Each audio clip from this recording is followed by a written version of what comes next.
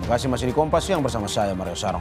Saudara, jelang pelantikan Presiden dan Wakil Presiden terpilih pada 20 Oktober mendatang, TNI dan Polri menyiapkan personil dan satuan tugas intelijen untuk pengawasan dan juga pengamanan. TNI dan Polri bersinergi mengamankan dan pengawasan untuk agenda pelantikan Presiden dan Wakil Presiden yang tinggal dua hari lagi. Pengamanan dilakukan termasuk untuk VVIP yang akan berangkat menuju gedung DPR terlebih melihat situasi antusias masyarakat yang ikut memeriahkan pelantikan. TNI Polri pun memetakan dan mengantisipasi ancaman yang mungkin muncul.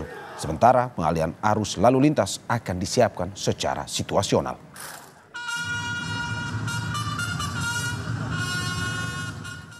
Eh, pagi ini kita barusan telah eh, melaksanakan apel kesiapan dalam rangka pelaksanaan pengamanan pelantikan presiden.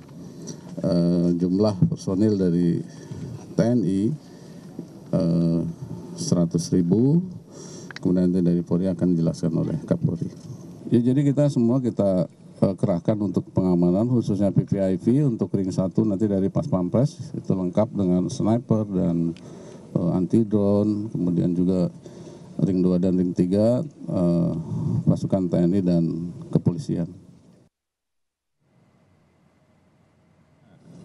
Di dalam pengamanan kali ini kita terbagi menjadi delapan satgas.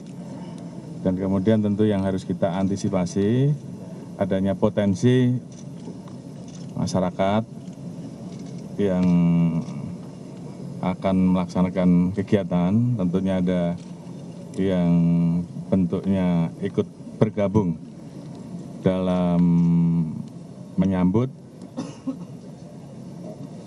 uh, rencana pelantikan termasuk mungkin mendoakan. Namun di sisi lain juga ada kelompok-kelompok yang kita pantau